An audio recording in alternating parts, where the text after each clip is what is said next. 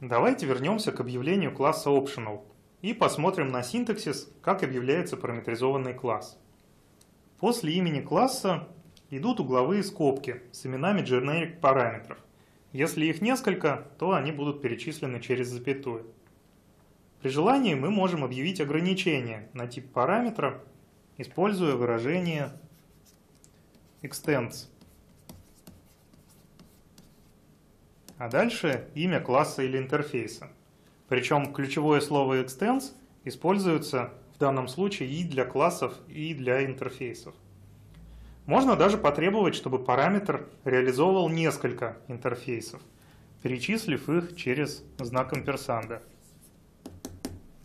В теле класса этот generic параметр может использоваться практически в любом месте, где и обычное имя типа.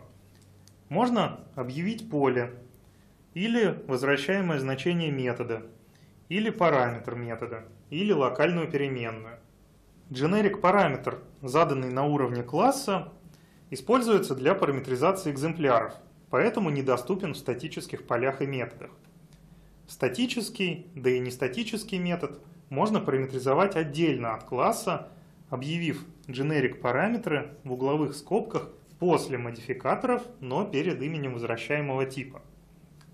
В данном случае параметр тоже называется t, но это t совсем другое.